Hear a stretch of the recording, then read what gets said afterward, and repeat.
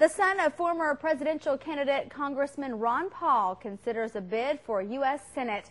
This morning, Dr. Rand Paul was at Teresa's restaurant in Bowling Green to gauge his support.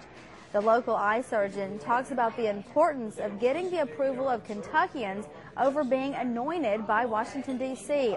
The U.S. Senate seat is currently held by Republican Jim Bunning. Senator Bunning has sort of given the green light to people. He said that it's fine for certain candidates to form exploratory committees. So I'm leaning very strongly towards announcing an exploratory committee. There are some things we're putting in place, and that's pretty close to making an announcement, is what I'm saying. Secretary of State Trey Grayson has formed an exploratory committee. However, both Grayson and Paul have said they won't enter the race unless Bunning decides to abandon his reelection bid.